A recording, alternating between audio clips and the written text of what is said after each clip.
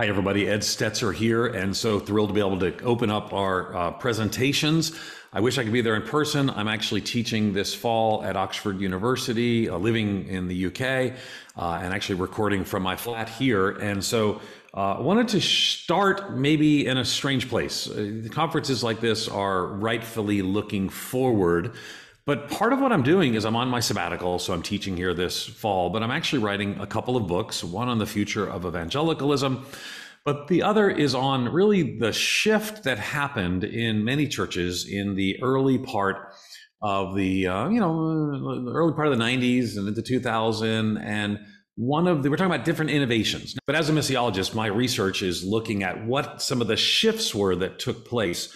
And I'm going to share with you some of those here today. Let's talk some about the movement itself and, and how we got there and the journey that it involved. So, when it comes to uh, a movement, uh, the multi ethnic movement, there's phases that things go through. There's a foundation of the movement, and then there's ultimately a diffusion of some of its values. And then from there, we're going to look at the future. So let's start by talking about some about the foundation. Starting in the late 60s, um, the theological conversations about racial reconciliation began to be developed by evangelical leaders, uh, some in the civil rights movement, like John Perkins, Samuel Hines, Tom Skinner, and others. And these leaders put forth some ideas that in order to receive reconciliation, some things needed to happen. Uh, individuals of different races must um, develop relationships with each other. Uh, recognizing social structures of inequality. Christians have to resist them together. Third, that and quoting whites as the main creators and benefactors of racialized society must repent of their personal, historic, and social sins. Uh, fourth, um, in this case, talking about African Americans, must be willing, when whites ask, to forgive them individually and corporately. Some of these things sort of emerged in the conversation in the 60s. But by the time we get to the 1990s, some of those conversations begin to become more evident. And one of the first places and times when we think about some of these things is actually uh, in and around things like, well, promise keepers. Um, and Bill McCartney, the organization leader, made the statement that, quote, racism is an insidious monster. You can't say you love God and then not love your brother. Now, again, it was very focused on individual responses but in evangelical faith and practice, this is one of the first times when we began to hear this broadly engaged. Billy Graham actually took a uh, stand and said, quote, racial and ethnic hostility is the foremost social problem facing our world today, unquote. Now, now don't misunderstand, the reaction was swift and significant and, and important to note that the reaction wasn't all wasn't all positive. Tony Evans, megachurch pastor in Dallas, summarized and said the concerns of Black Americans are not of dominant concern by and large to white evangelicals. But what happens then around this time, too, is the growth and emergence of sociological studies on uh, multiracial Christian congregations. It's a relatively new idea, and um, and the, not a lot of publications in the 80s so 1996, Promise Keepers, um, 2000, Divided by Faith, Michael Emerson and Christian Smith. And then 2004, we see United by Faith, Young, Emerson, Yancey, and Kim. And so people are beginning to talk about some of these things. And I, I would say, I'll see in just a minute, that that marks the end of the forerunner stage and the beginning of the pioneer stage of the multi ethnic church movement. At this time, uh, 7.5% of churches across the country have at least 20% diversity in their attending membership. So 1996, Promise Keepers, 2000, Divided by Faith, 2004, United by Faith, and then in 2004, the first multi ethnic church conference, 30 people in attendance, 30 people in attendance. 2005, this is on the cover of Christianity Today. All churches should be multiracial uh, Georgia Marks speak at the uh, Ethnic America Conference in Dallas. And again, in November, Mosaix hosts a second local conference in Dallas. About 100 people attend here. But then things clearly begin to change. There's, there's what I'm calling um, institutional and organizational breakthrough. So now we're having multiracial and multi ethnic tracks and large conferences like the National New Church Conference, now called the Exponential Conference, the Purpose Driven Network, that's 2008, the Willow Creek Leadership Summit from Smith and others. Uh, people begin to create uh, new departments, uh, uh positions for advancement of multi ethnic churches. uh, the Evangelical Covenant Church does, the Evangelical Free Church in America does, the Reformed Church in America does. Uh, Leadership Network is now invested in some of the multi ethnic church as one of their future church uh, innovations. Uh, building a healthy multi ethnic church is a key part of laying some of that foundation. 2010, the first Mosaix National Multi Ethnic Church Conference. And mainstream se- these sessions are now live streamed over the internet. Uh, people engage uh, all over the, the world, and the theme is on earth as it is in heaven. So, uh, Mark's column, actually, the Ethnic Blends Vision, begins at Outreach Magazine.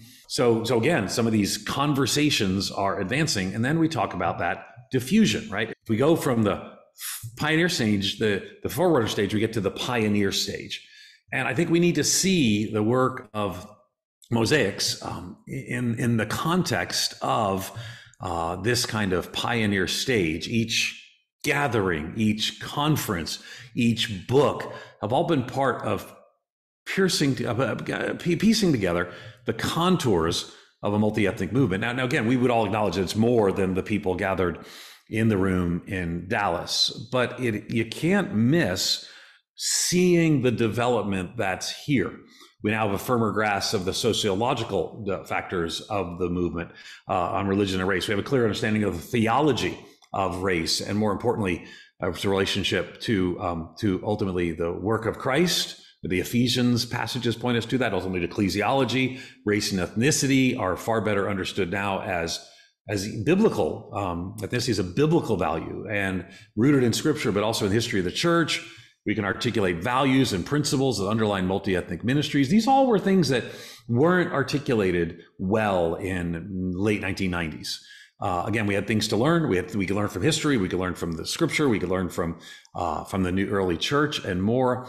But a decade ago, the conversation would be very different. So this this work that Mosaix has been doing, uh, it's hard, slow, and sometimes contentious, but good, critical, and worthy foundation for the next generation. So, so, so again, these these conferences uh, continue. Uh, we know 2013 in Long Beach, 2016. Um, I had the privilege of, of, sharing there in 2016 as well, and uh, and, and 2019. You see the three-year pattern um, of the conferences, and and here we come uh, now, ultimately to well, where where where we are where we are today. The road now for the past over a decade has been hard, slow, sometimes contentious. So what's the future? Well, that's what people are going to talk about. But let's let's not be naive to think that there are not challenges.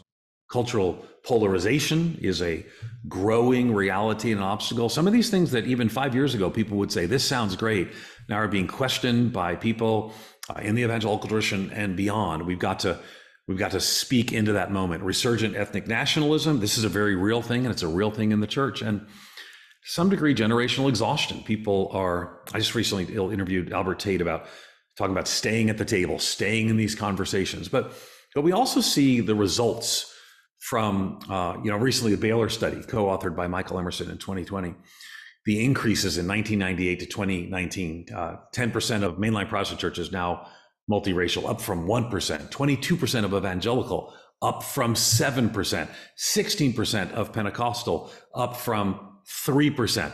Uh, Catholic churches, 23%, up from 17%. Um, and and and again, we see we see these growing opportunities and realities, and it actually represents some of the fastest growing segments of evangelical Christianity today.